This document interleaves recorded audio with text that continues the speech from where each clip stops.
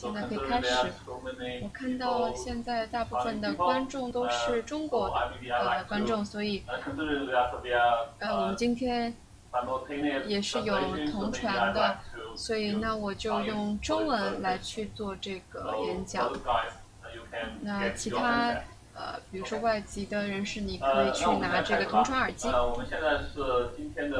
So let's get started. It's the final session uh, today. So I think you've had a long day. So I hope I can uh, give you more information in my session. I'm Yu Ping from Intel uh, NPG. I'm working on network platform group. 呃，在网络中大家也都知道，就是说 TLS 是常见的。You might know that TLS is very common application or protocol. So first, I want to ask, how many of you um, like know anything about TLS? Okay. Okay. So I can uh, introduce briefly introduce TLS.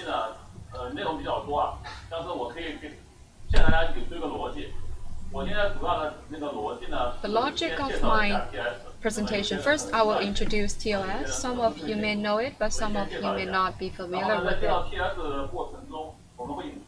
And then I will have a I will introduce uh, another topic. TLS is a encrypted uh, protocol. Uh, how could we improve the performance of TLS? We will use a quick assist technology to accelerate TLS. And when we do the acceleration, we found that not only do we need hardware, we also need uh, software. So we designed a asynchronous framework. So we enabled OpenSSL, um, a, a, a cinemas acceleration framework. And we have received quite a lot of feedback from the users. And many users or clients, they have deployed this framework. And we found that we can enhance this framework. And then we enhanced it. And then we applied it to VPP framework. And then that's the final step. And then we can improve the performance. We also found that they might have some requests for encryption, decryption, etc. We'll talk about this uh, private uh, private key protection uh, at last. So we found the problem, we solved the problem, during uh, we solve the problem, we found new problems and how could we solve the new problems and then put it in the new application. That's the logic. So uh, let's look at the application scenario.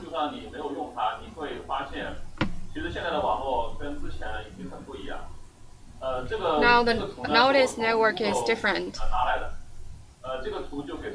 I uh, get this graph from Google. It shows the TLS use cases and uh, current status.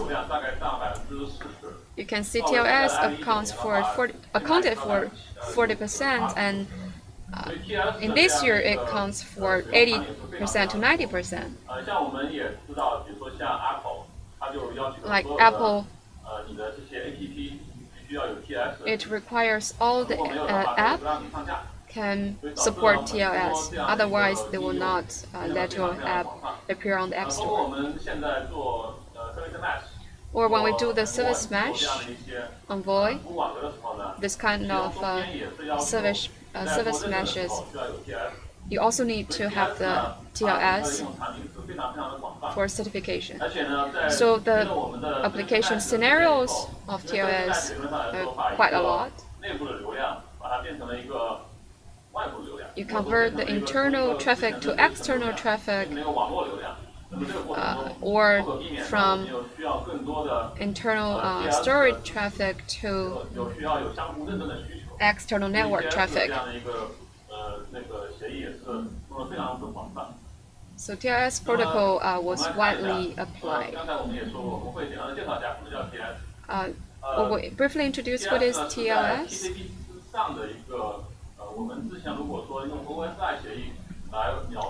If you use OSR protocol to describe, it's like the presentation layer of TCP.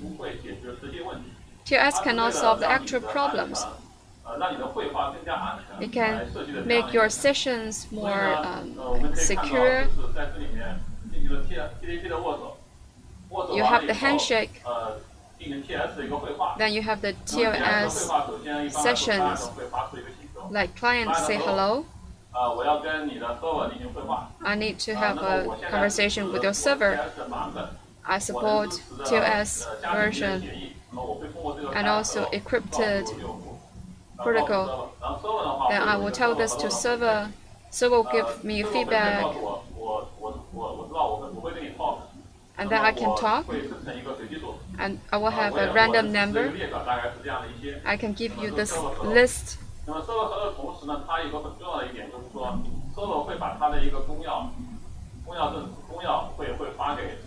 The server will uh, send the public key to the client, for example, when you visit Google or Ali,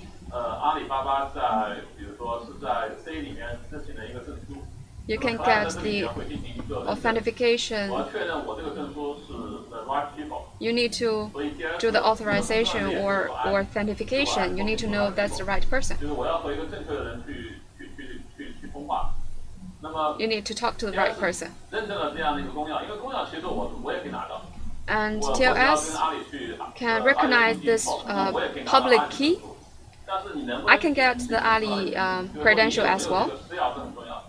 But the key is whether you have the private key. The client will send a, another random number.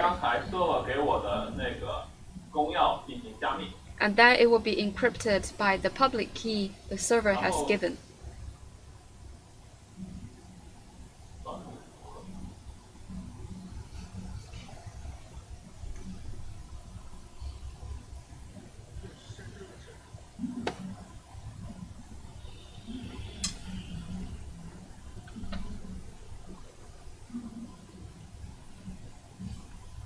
PS 这个太复杂了，导致这个显示系统不耐烦了。Yes, too complicated. 这个时候呢，就是 client 它需要交给呃会用一个随机数，这个随机数呢会用一个会用那个就是 server 的。The random number will be encrypted by the server's public key. Um, then the server has the private key it can decrypt it.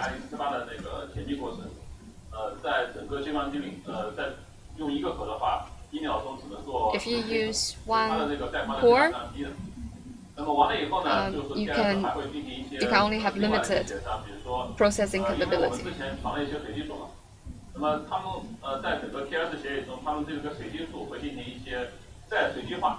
And after you have the random number, you will have TRF.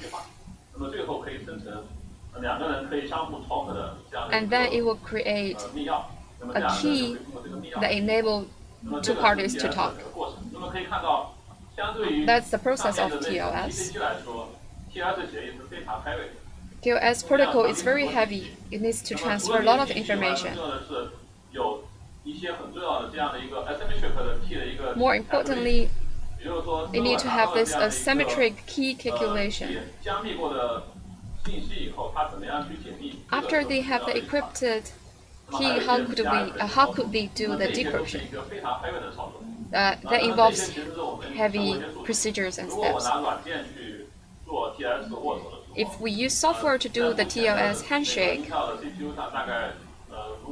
on the current Intel CPU, for one second we can do 1K. That's very good result already. If we use TCP, the CPS can be 60K. So it's 60 times.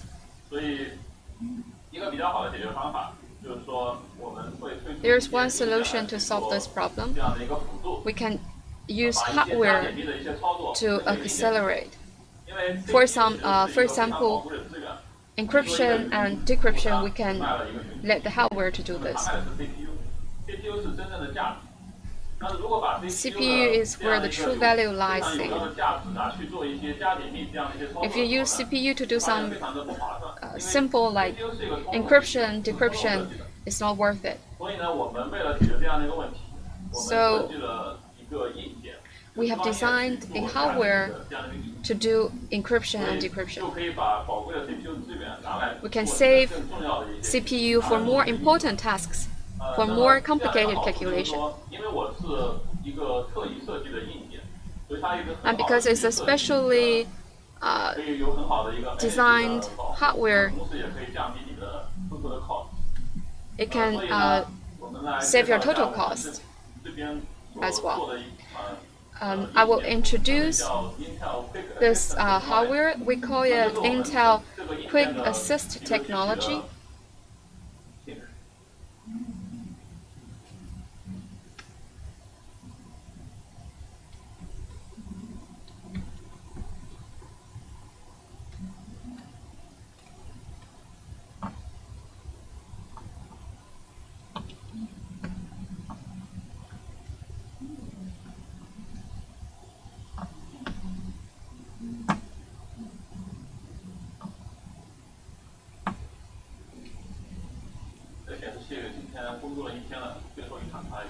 The monitor is tired as well.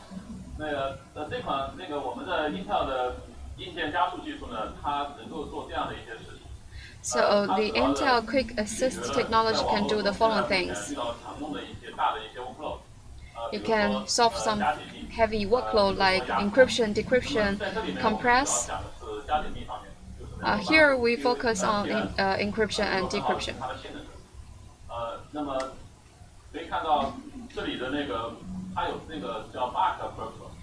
You have this bulk crypto. After TLS handshake, you will have this symmetric uh, bulk crypto. And then you have the public key encryption. During the handshake, when you need to do the a uh, synchronous, and then it can also do compression. We will work with Cloudera to compress uh, the data.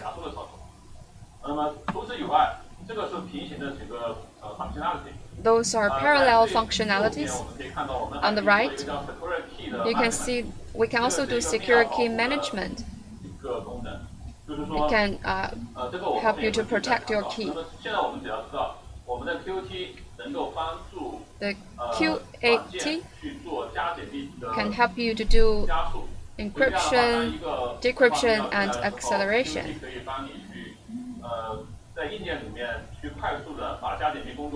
It can take off the workload of encryption and decryption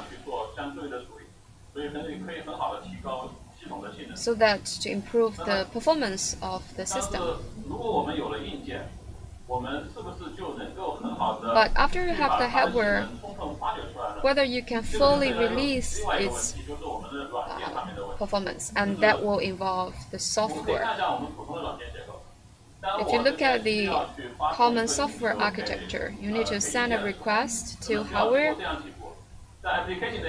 at application layer, you send the request to OpenSSL, and then OpenSSL send the uh, request to QAT engine, which is the hardware.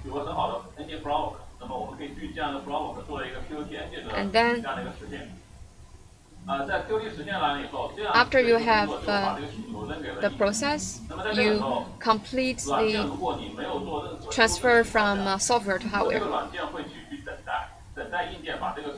Without uh, changing the software, the software will be waiting for the hardware to complete the work. While the software is waiting, the CPU may be that's not efficient because um, CPU will waste time. So we need to fully utilize. Fully utilize hardware. For example, while hardware is working, the software should do something else um, simultaneously as well then we use this asynchronous mo uh, model. Your hardware and your software can uh, do the tasks in parallel. It's like this computing unit. If you can make sure your computing units can work and the CPU will not stop at the same time.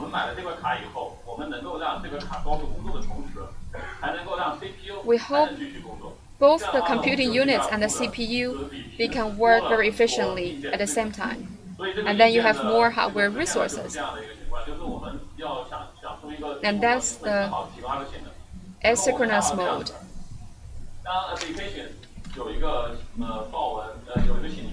So when the application has a request, first it will uh, utilize the functions, and these functions will be sent to the engine of the hardware. Then, but POT engine here, it's uh, software. So the request will be first sent to software and then to hardware. So there will be a new section. The hardware is working well if the software is still waiting, then there will be a waste of resources. So the software can be spared to do other tasks. So here there's a non-blocking call to fully utilize all the resources in terms of software and hardware. So if we want to do this asynchronous mode, what should we do?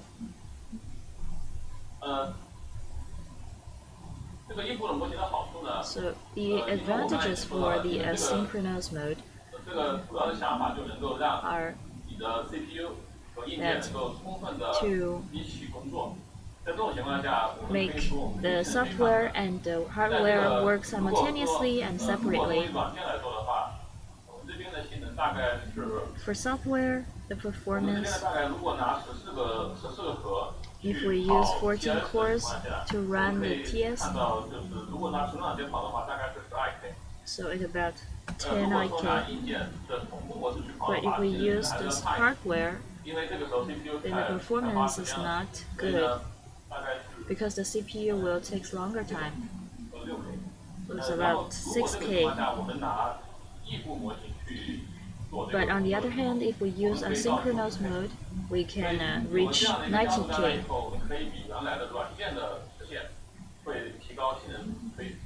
So you can see that the performance can be improved on a large scale. And how do we do it?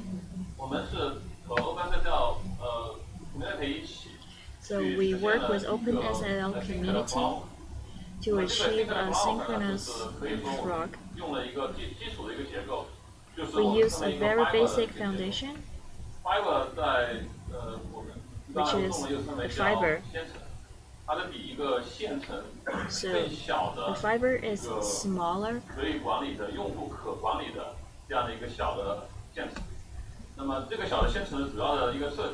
In the design for was by, uh, and the design was achieved by this async function. 那么启动线程以后，它就会去做一个 sub function, there will be a side task generated. So the subtask is generated and creating a descriptor for communication, doing a lot of things. And then the request would be popped to the device, to the hardware. And we use an async postural.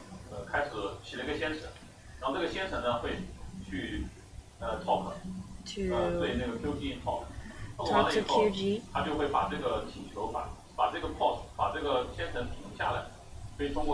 -hmm. Once the same pawn drop will pass the current task, then the workflow will uh, retreat from the current job and then go back to the start job and get the FD. And the main program can uh, monitor if there are any messages coming.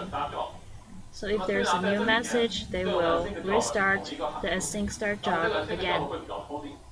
Uh, the async start job is very smart. It can identify whether the there are previous tasks implemented. If there are, then it will automatically uh, switch to the uh, async pause job procedure and continue with the unfinished task. This is a very natural process and fully automated. So, it's like we start a program and then the program is run according to certain sequences and then there's a pause job sending the requests back to main program and with these sequences there is a full leverage of all the resources uh, simultaneously.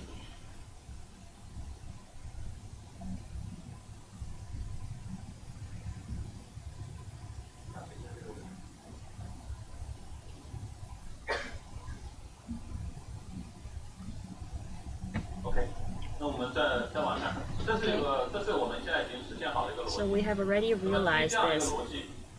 So based on this logic, we have achieved this on OpenSSL, which was uh, a synchronous uh, function. So after that, we have put it into an Nginx, and we have established our own GitHub tree which was customized only for our asynchronous demands.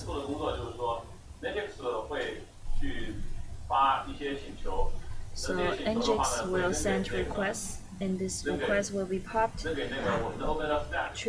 OpenSSL stack and the work starts from there. So with this GitHub, we will get seven times better performance than before.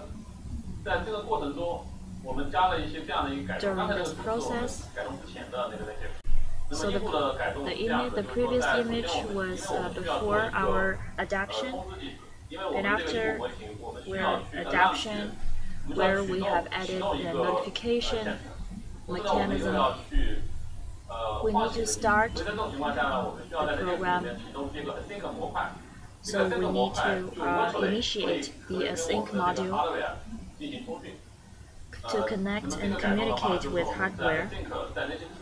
We made some adaptation. And the new program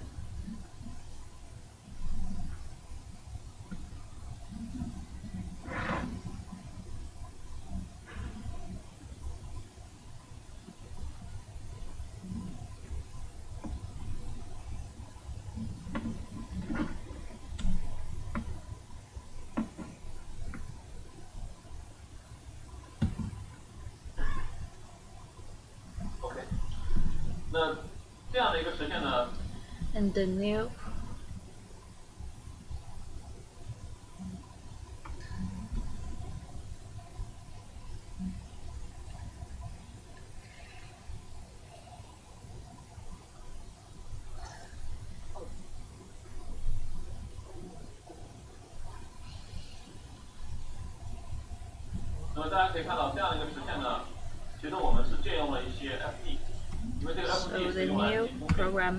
has used some FD, which have given also given us some overhead. When we do the communication, the application index will use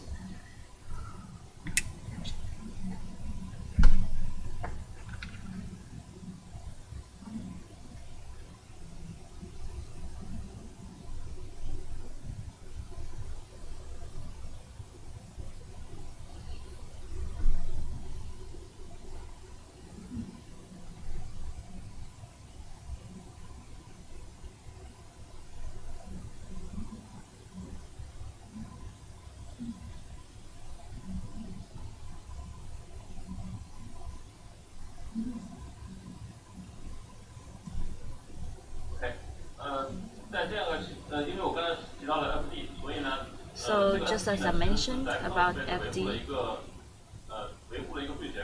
So this is a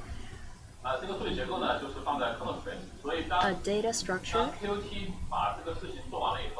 in the uh, Linux kernel. So with this tunnel, there will be some information sent to kernel. So the kernel-based FD will create some overhead. So when the programs are switched, so the kernel reading and also writing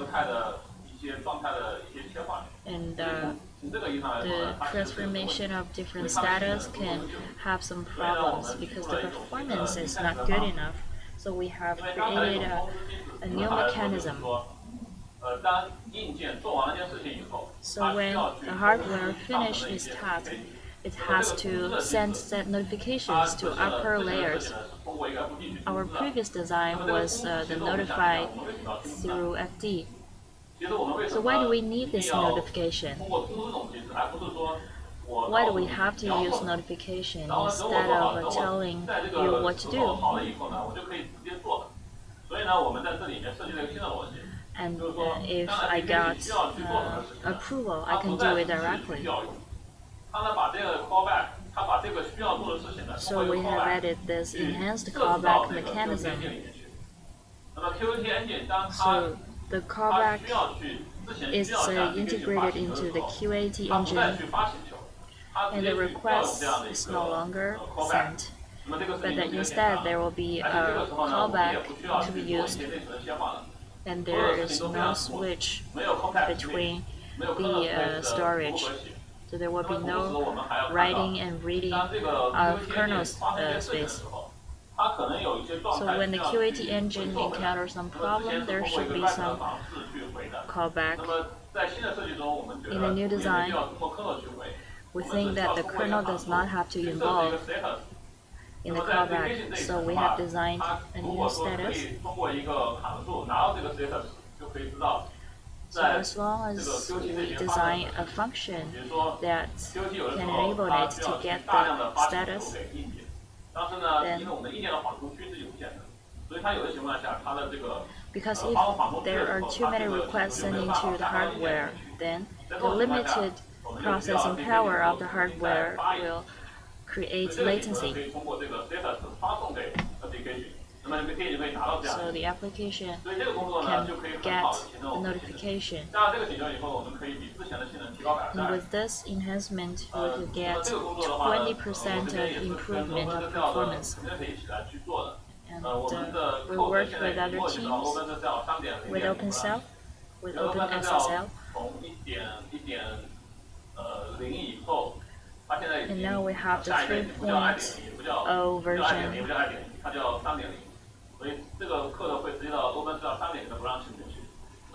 So it will uh, be integrated into the OpenSSL 3.0 master branch. And also in the GitHub, we have the QAT engine.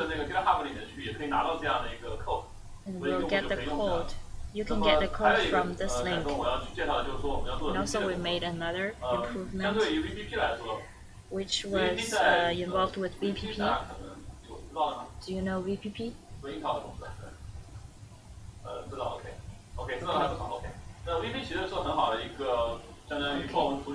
So, this is a very good project, processing vector. There's a whole stack realized in the VPP. This whole stack can deal with TCP and IP and, the TLS. So there's also a TS layer in the VPP. So we can integrate this function into the VPP. With these new functions I just mentioned before, there is a new TLS layer and the sync support. So when VPP is doing TLS, the VPP can send the request to hardware so VPP is also the first application of using the callback function. But we have uh, done some modifications or changes.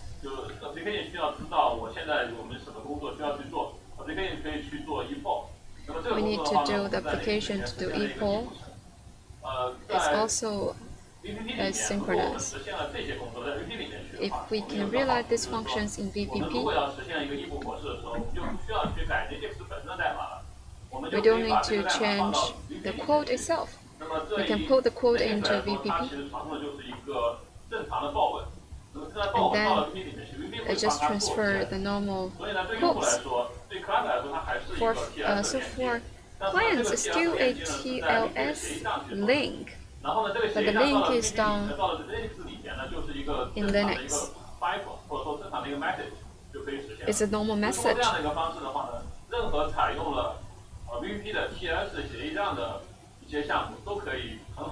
So all this can be uh, accelerated by a synchronous mode. Like if you want to accelerate Apache, you just need to change uh, to VPP stack.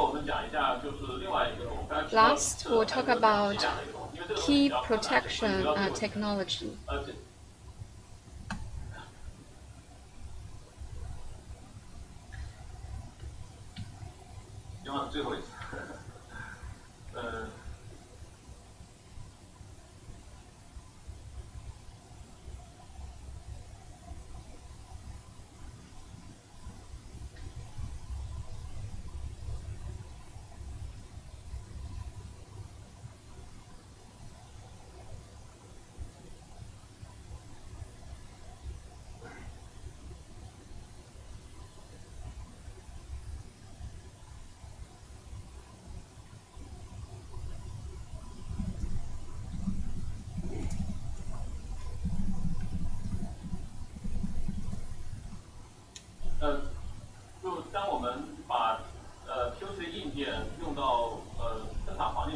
We use QAT to actual uh, production scenario.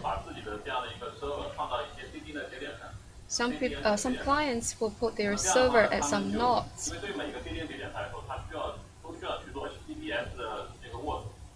And then they need to do the handshake. But key asset of TLS is the authentication, or you can say it's the public key or the private key. So in this case, um, for example, your private key might be um, violated or might be seen by others. And KPT um, can protect your private key so that your private key will not be presented or demonstrated in your system.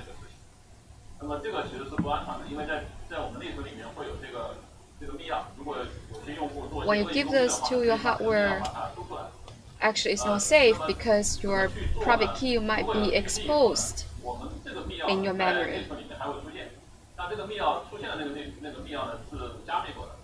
And this private key will appear again, but it's encrypted. And after QAT has seen this private key, it will have some descriptions and will tell you that this private key actually is encrypted. And then you put this private key into PDT.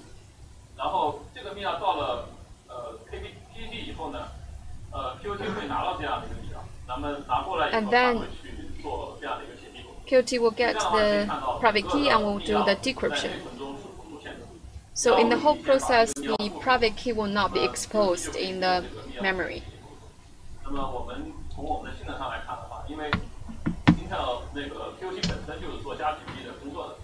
And QAT itself is doing uh, encryption and decryption.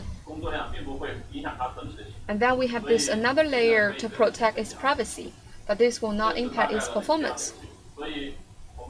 So that's basically uh, the situation. So that's uh, summarized. We provide a TLS model, and we found that TLS need to be accelerated. And then we provide some hardware solutions. We found that hardware cannot solve the problem. We need coordination of the software. And then we provide this asynchronous uh, OpenSSL mode and we found maybe that's not the ideal situation, then we enhance the code. We put uh, OpenSSL 3.0, uh, and then we provide some KPT knowledge so that uh, the client security uh, and privacy could be ensured. Uh, that's the key takeaways. Thank you.